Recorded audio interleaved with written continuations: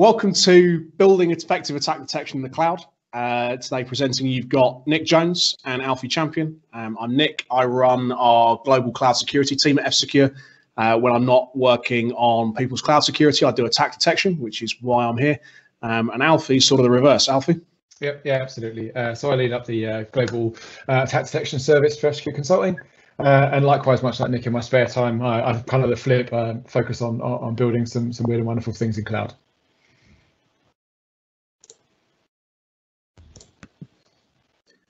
So first up, um, we're going to be talking about the differences between on-premise and cloud attack detection. And um, there's quite a few key differences there, I think, to focus in on. Um, secondly, what's an attacker likely to do? And what are they going to try in your environments? What should you be looking for? And then lastly, um, one of the things we've learned over our, our, last year or two working on this is very much that there's an awful lot we can learn from the, the DevOps um, you know, tips and tricks, things to do that really help level up your cloud attack detection capability long term. Absolutely. So first thing to consider then is the difference when it comes to on-prem versus cloud. Is this already a solved problem? Um, can we apply the same learnings from on-premise detection that we, have done for a while now um, and apply those to cloud? Well, we take a look. Um, in some ways, yes, yes, there are some very, very obvious similarities. So you consider things like the the automation of attacks, the scalability of those. We see this, this kind of never-ending cycle of um, exploits being released, and then kind of proof of concepts being released, and then some some widespread scanning and, uh, and exploitation taking place. That's still a thing. There are some kind of cloud variations of that. So you see um, exposure of credentials in things like public S3 buckets, or in, inadvertently kind of pushed to, to public code repositories like GitHub. Um, and then there's also kind of a new flavor um, of attack, which is that kind of, as MITRE defines it, as resource hijacking, kind of the crypto mining type stuff. Obviously, even more so, with there's kind of a similarity there with on-prem when it comes to ransomware being being definitely in vogue, as it were. So there's a lot of that going on, but a lot of that to some degree is covered by some of the, the managed service, kind of the IDS stuff that you see from cloud providers, the likes of Guard Duty that provide things um, there relating to kind of scanning activity, to kind of beaconing out to known bad IPs, that kind of thing. What we're looking at, and certainly is where we spent most of our time, kind of pushes up that that that pyramid from the opportunistic exploitation, so um, using the instance metadata service, which has obviously been um, quite quite well known when it comes to cloud um, instance exploitation, and then moving up into that targeted attack, where it's like rather than just that indiscriminate or opportunistic, what would it look like for a sophisticated uh, attacker to target you specifically and the assets that you you have within cloud? So that's where we, have been focusing really. When we look at this from a detective standpoint, we start looking at the telemetry. That's like the raw ingredients for detection, right? Um, on-prem, there's there's three obvious sources there. So the first is is kind of endpoint telemetry. So you you know like endpoint detection and response, EDR agents are obviously hugely valuable there for for process creations and, and kind of registry changes, etc. etc. We've also got network telemetry, which hosts talks to each other. Things like kind of port scanning or kind of domain enumeration would end up with some some noise coming from that. And then we've also got application telemetry as well. So the way that people are interacting with potentially our, our internet facing assets, um, what telemetry does that provide? Is there any way that we can provide some kind of insight into malicious activity using that? If we now look at cloud, all of that is is relevant, um, but we now have this this layer above the control plane telemetry that kind of is almost encompassing everything we've just spoken about. You consider an environment um, for just a, a, kind of classic on-prem application tech stack it could be that you have the endpoint telemetry still from the operating systems hosting that stuff. It could be that you have the network telemetry of, of how those the various kind of front end and back end services interact with each other. And then you've got the application telemetry of, of the thing that you've written and you're now hosting. But now we have this this surrounding layer, which is the control plane, where we're inter interacting with that API. So all of the, the, major providers expose that API that you can use to do any number of things within the account. That could be from spinning up and, and um, virtual machines to, to provisioning um, accounts with, with, new permissions, that kind of thing. So there's a whole load of, of new telemetry that we have at our disposal as defenders. Um, and there's also these three sources within that, that um, square there that are of varying importance depending on what your stack actually looks like, what you're hosting in cloud. If obviously you're not using any endpoint anymore, there's no or equivalent, there's no EC2 or virtual machines there, then obviously that doesn't really come into play anymore. And that's one of the key learnings for us is kind of where telemetry sources are applicable and where maybe they aren't anymore. Uh, another major finding or, or, kind of uh, experience point for us, I guess, is around context. And that comes down to when you're dealing with an environment that is purpose built, um, the actions that take place in that environment are very much based on the purpose of everything in there, every asset in there. So we consider a given kind of IAM user, for instance, in AWS. If that's upgraded its privileges, so in some for some reason uh, it is now kind of an admin, it can do kind of high level actions and cause a major impact. How that user obtained those privileges could be of, of huge kind of significance. Um, if that that change is, is done by a, a CI/CD, continuous integration, continuous delivery user, it could be that's completely benign. That's expected behavior, and in which case we're okay with that. But the very same change made by an admin user that has no 2FA, potentially with like a, a GeoIP uh, enriched um, location there, you could say this is entirely odd. You know, this is completely unexpected, and in which case this is something that we should raise and we should pursue as, as an investigation. So context is key. And all of that kind of stuff considered and kind of acknowledged, what we're facing now is is far more complicated than that in terms of things like the interconnectivity between these services. You start dealing with tons of third-party services where your crown jewels, as it were, are no longer in, in a single place in, in a data center that you can kind of point to. They're obviously hosted in, in a plethora of other services that we see there. So be that cloud providers in the traditional kind of AWS, Azure, GCP kind of sense, but that can also be um, using like Office 365 or Slack for our communications, etc. And the trust boundary between those um, is, is obviously a major point for us to investigate. And the visibility into those various um, third-party services and the log sources they provide is going to be hugely important as we go forward. So Nick, I know you've got a point on this one. Yeah, so we've had some recent experience with one client we were working with, for example, where they had a primary cloud provider that they were hosting all their applications in, but their source code was in GitHub. They were running Jenkins for their CI/CD. They had uh, uh, what else? G Suite for their um, their mail and their documents and all these kinds of things. And so we had quite a variety of different um, sort of infrastructure as a service, platform as a service, and software as a service um, packages that were were in play uh, that we were ingesting logs from and that we were able to use to um, track attacker activity platform to platform. Um, you know that worked out quite well, but it did take a bit of effort to get all of that together. Yeah. And so, you know, I think one of the, the key things that we've learned is around um, actually like how you design your cloud detection stack. Um, so first off, um, centralizing everything is pretty important. I wouldn't necessarily say we need to go for feeding all of the data into one central location particularly, but you need to make sure that it is easy for your analysts to take a look at one incident in one thing and then pivot from that data point into other data sources in other applications, cloud providers, um, whatever makes sense. Um, you know, one of the things we've noticed is that the harder it is for analysts to jump between um, data sources from different systems and environments, uh, the less likely they are to actively track down and investigate um, some of these things to the degree that it needs to, or it takes so long that they don't have the bandwidth to handle everything that's coming in so very important that that is right. I think um, that we support the analysts in generating uh, or in developing their use cases right um, and having that sort of access. Um, first up, though, um, data sources. Before we start talking about where we put this data, um, there's a couple of key data sources I think that we need to dive in on. Um, first off, you've got the control plane audit logs, and secondly, the, the service specific logs. So by control plane audit logs, what I mean there are CloudTrail for AWS, audit log in Azure terms and, and Kubernetes. Um, what these give you is visibility of all administrative actions taken within an environment. Any API call that's made uh, gets logged there, right? So we can track uh, creation, modification, deletion of resources. Um, we can track access in some cases. Um, we've got essentially all the visibility we could want of everything that's happening at the control plane layer coming out of that one data source. So that really is critical. If you only get one data source turned on in your environment, that's the one to pick. Um, then for service specific logs, um, essentially what these are are logs generated by your S3 buckets, by your Lambda functions, by your KMS key access. Um, cases where the, the cloud native services, the, the PaaS things you're using, are generating their own logs, and those those tend to be very high fidelity. Uh, if you analyze them right, they also tend to generate a lot of data.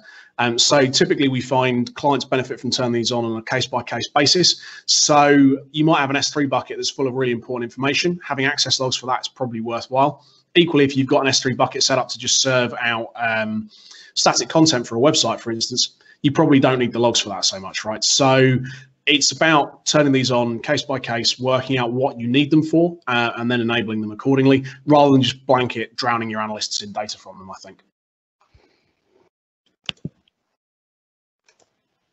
Yeah, absolutely. So when we're kind of well equipped and we know what it is we should be logging, we're going to know what the data sources are. The question then comes in terms of what is it that we're looking for then? And, and that comes down to the threat intelligence problem when it comes to cloud. So if we just look here, left and right, we've got the, the MITRE ATT&CK um, matrix there. Um, and on the left, you can see the on-premise version of that. And on the right, you can see um, the, the, cloud equivalent there. And I think it's, it's obvious um, that the on-premise version is far more populated with, with, with the techniques across the kill chain um, than the cloud one is. And I think there's obvious reasons for that. The first, of course, is that is that the on-prem version has been around for much longer, um, but the way that this this matrix ultimately gets populated is, is through threat intel, through reports, um, findings there of, of, malicious activity that have been found, um, and that's what ultimately it makes its way into this, and that's how we know kind of what to look for. So it's a little bit of a chicken and egg in terms of we need to know what to look for, so we rely on ATT&CK for that kind of visibility but then ATT&CK itself relies on us providing those reports um, to, to kind of fulfill it in, in terms of its potential. So there's a lot there that you know we, we need to know what to look for, right? So what is an attacker likely to do? Well, for us, the most obvious place for us to kind of rely on to find that information is in the environments that we exploit as part of our consultancy work.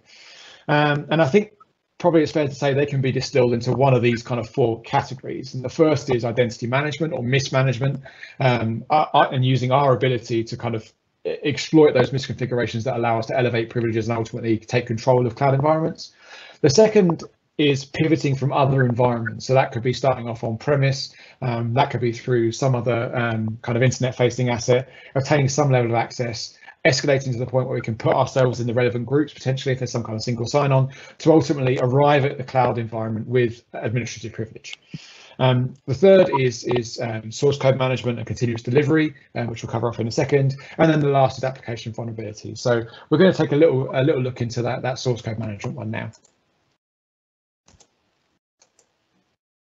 So when we talk about source code management and continuous delivery here, um, really what we're talking about is an attacker targeting either the code repositories where your application code or your infrastructure as code is stored, or the delivery pipelines um, that take what's in those repositories and either build the relevant cloud resources or deploy the right application containers in the right places.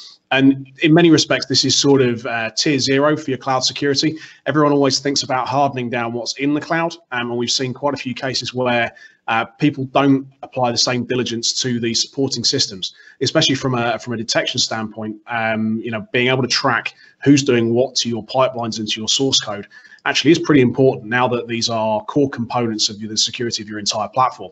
If an attacker compromises either the pipelines or the source code delivery, they can take control of basically everything, right? Um, you know, we can we can deploy pretty much anything we want into the cloud from there, um, especially when we often find that the roles that those pipelines are running as, the access they have, um, is very privileged, perhaps often more so than it needs to be. So I think that's quite a, a key thing to factor in, really. Um, it's one that we, we exploit regularly ourselves on consultancy engagements, um, and I think it's a matter of time before we start hearing about attackers doing that, um, you know, if we're not already.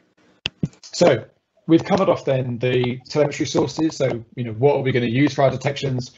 and we've taken a look at some of the attacks that we've seen um, over the kind of kind of four key areas there. So how do we start then? How do we action this? How do we build the effective attack detection? And I think the the methodology that we've employed over the past year um, is kind of summed up with, with this model here. So the first thing that we're going to do is, is threat model the environment, understand could be targeted? What would the attack paths look like, hypothet hypothetically, going from initial compromise right through to achieving some objective? And what that objective is, is again defined by the, the, the specifics of your environment. If you're hosting some, some sensitive data there, then likely is that that's going to be um, the objective for those attack paths. That's going to be the end goal. So once you've defined what those attack paths can look like, we need to prioritize. We need to say which of these have the highest impact, which of them potentially is going to get the, the attacker from A to B in the most expedient way. If there's an obvious path, an obvious exposure, um, then that's the kind of path that we need to be paying most attention to. And then we need to understand the like atomic attacker actions that comprise those those end-to-end -end attacks. So the TTPs, the tactics, the techniques, the procedures. What is an attacker going to do step by step to achieve this objective. And then the most obvious step is verifying that, that our, us as defenders have the telemetry we need um, to, to spot those things. So if we have a given attack type uh, against a given service, we can take a look at that and say, do we have the service specific logs? Do we have the CloudTrail API commands that, that relate to that? And in which case, we're probably in a good place to start step five, which is actually executing those attacker actions and understand end to end if we have the detection cases that work or even as like a step zero, understanding what they might look like. So we can say, okay, this is the specific API events um, that we, we, can look for. We can start building detections and fine tuning those um, to ultimately detect them should we replay those attacks at a later date. So I think one of the key messages that we've learned um, working with a combination of the sort of the operational teams in some of these uh, these environments, but also from the perspective of detection, one of the most powerful things you can do as a detection team in general, not just in the cloud, but especially in the cloud space, um, is move towards detection as code. Basically, um, define your detections in a machine readable format, something that you can easily version control um, that you can update over time. Um, it provides an easy means to share knowledge within the team. If it's a common format that everyone can read, um, then rather than just talking about particular attacker activity at a high level and, and how it works and explain these things um, to your more junior analysts, they can go in and read the detections and really understand um, you know exactly what this this particular technique is going to do under the hood. Um, and we've seen a few key projects in the open source space around that um, already, um, not least Sigma, um, which is an a SIEM agnostic set of rules um, that you can compile down then to Splunk or Q you're running.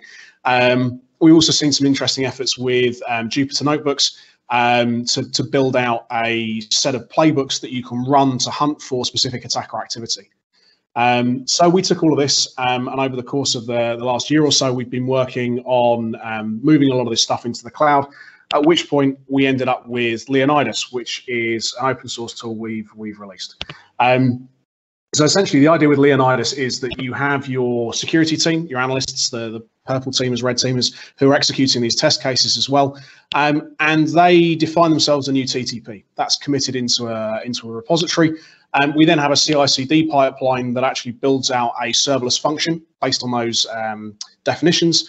Uh, we then expose that serverless function to, to the Purple team, and they can use that to execute attacks. So you make a single web request um, to execute a particular attacker TTP.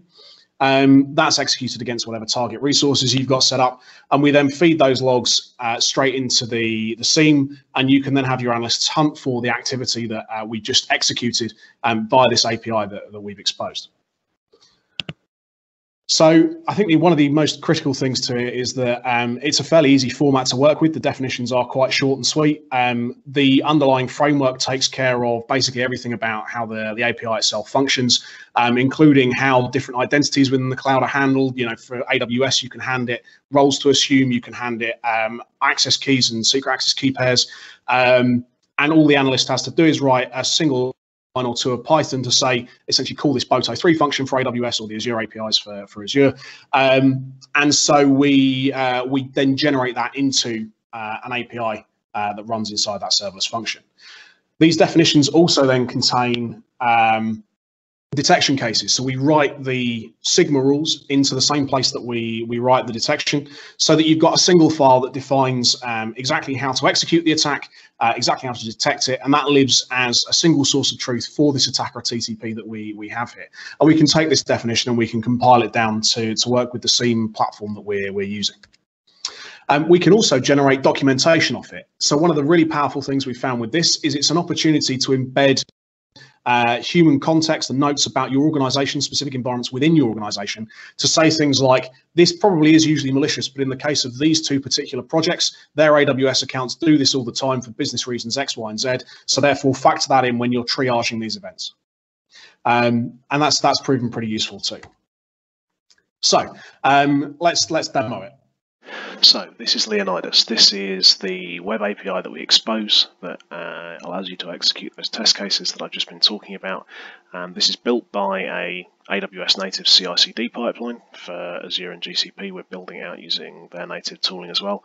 Right now, this is hosted in a Lambda function with an API gateway in front of it, um, and you can see here we've got a range of different test cases across the MITRE kill chain. So uh, let's dig into to one of them as an example. Um, perhaps we have some IAM access and we have a user that we've created as a, as a backdoor. Um, so let's add a policy to to that user. Um, you can see here not only can we pass in the, the user and the policy that we're we're trying to target here, but also actually we can pass in a variety of identity-based data to allow Leonidas to execute uh, the test case as something other than itself. Um, it comes with an IAM role, uh, and the permissions for that IAM role are automatically generated by the build scripts, but it's beneficial to be able to trigger test cases as a range of different identities. So in the case of AWS, uh, we can also pass in an ARN uh, to, for a role that we wish to assume, or we can pass in an access key, secret access key key pair. Uh, we can also specify obviously the, the region that we're trying to target. Now this interface is quite nice for exploring the API, but for security reasons, in order to trigger any of these test cases, you need to supply an API parameter, API key parameter, sorry, alongside it um, in order to, to get that executing properly. So you can either use Leo, which is a command line tool that runs uh, encapsulates these APIs. You run it locally and it speaks to um, to the Leonidas API. But actually, we've had quite a lot of success uh, working with Jupyter. So Jupyter, for those who aren't familiar, is uh, essentially a, a web-based interface to a Python interpreter um, that allows you to embed code in and amongst documents, uh, document content, um, and generate graphs and tables and all of these kinds of things. It's a pretty popular data science tool, but we've also found it very effective um, in the detection and purple teaming space. So here what we're doing is, uh, you know, we've got this Leonidas API endpoint, it's the same one we were looking at previously. Um, and so we're going to load in the set of test cases uh, from this case config and the Leonidas framework will also generate this, this YAML file for you that defines all the test cases. But you can see here we've got all the test cases uh, then loaded in uh, into this Jupyter notebook. Um, so for instance, um, we were looking at the um, adding policy to a user one before. You can see that here, in row number 35.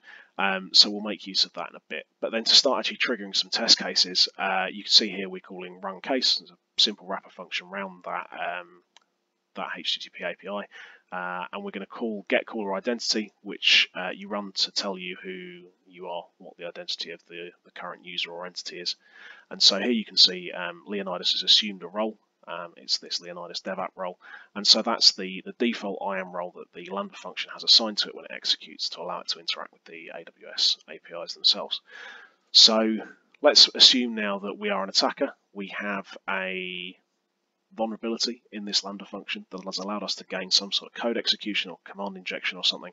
And so we're now um, executing these uh, attacker actions against the underlying AWS account.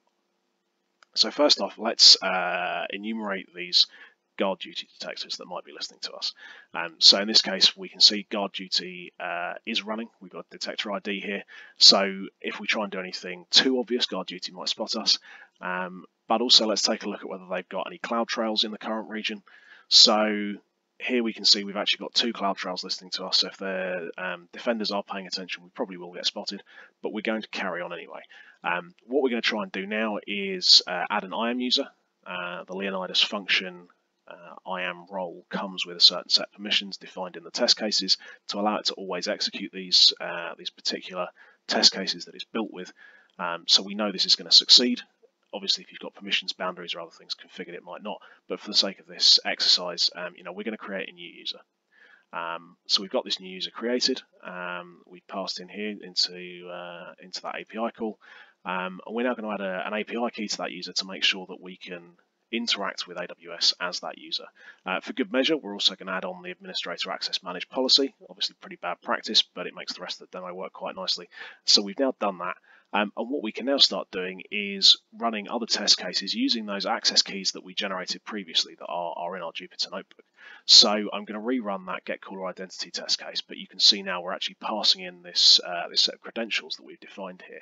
Um, and so if we run that now, you'll see that when we come back uh, from the, the caller identity call, we're now uh, running as a user account, in fact, the user account we just created. Um, so we've changed the entity that we're executing these test cases as, um, and this allows us to simulate a variety of different um, sort of attacker start points, um, assume different types of breaches, these kinds of things. So then what we can do from here, we can list the secrets in Secrets Manager. Um, you know, we're now an attacker who's poking around, uh, trying to find uh, secret data or um, steal further access keys credentials to get further into the environment. Um, and it turns out we've got a secret. It's called Leonidas Created Secrets. So what we're going to do is uh, grab the contents of that um, with another Leonidas test case. And you can see here we've got some, some secret data coming back from the um, AWS APIs there.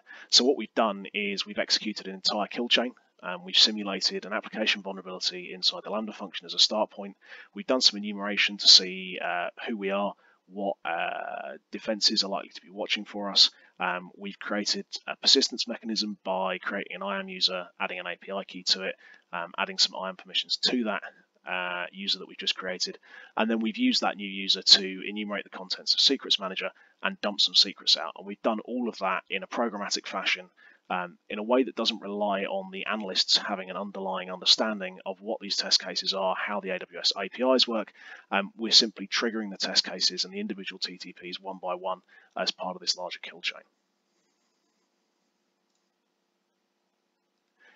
Now, one of the benefits to Leonidas is not only do we have the ability to trigger these test cases automatically, it also generates its own logs so you can compare and contrast them with what you're seeing in your SIEM and what alerts you've got firing. So let's jump into the, the latest set of logs here. Um, so what we'll find is yeah, looking at the top, you can see we've got an STS get caller identity call, um, followed by list guard duty detectors, uh, enumerate cloud trails for a given region.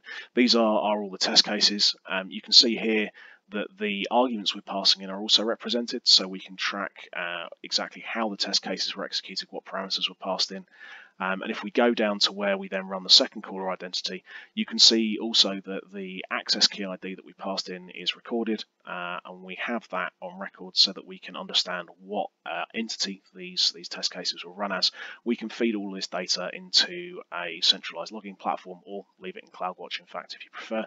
Uh, but we can diff this then against what we're seeing in the SIEM, and it allows us to get a better understanding of whether our test cases worked or not. Um, and we have those logs there for posterity. Uh, it doesn't require the analysts to take detailed notes as they go because everything they do is recorded automatically for you.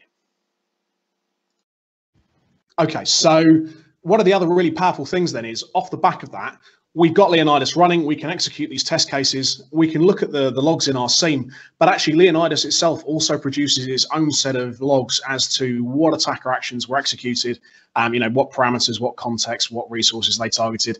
Um, and we can actually feed all of that somewhere as well into your SIEM or to another platform. Um, and we can then essentially diff the use cases that were triggered in Leonidas against the uh, events in the SIEM, and we can see whether the detections that we were expecting to, to trigger, um, you know, either as alerts or as tags or whatever else, um, whether those happen in the correct way. And that means that over time, actually, we can regression test improvements to our detective capability, right? We can add additional test cases uh, additional use cases even, we can then verify that doing so hasn't broken any others. We can update uh, test cases to, to match new changes by the cloud providers, catch additional things. Uh, we can verify that we've not backslid in the process. And actually that means then we can iterate much faster because we're confident in our ability to catch mistakes as we go. Yeah, absolutely. So conclusions then. Well, it might sound corny, but I guess the ultimate thing here is that detection is a journey, right? So your cloud environments are changing all the time. Um, that could be because you're implementing new features, you're changing the way you do that, you're changing the services that you utilize. So ultimately, your detection has to change with it.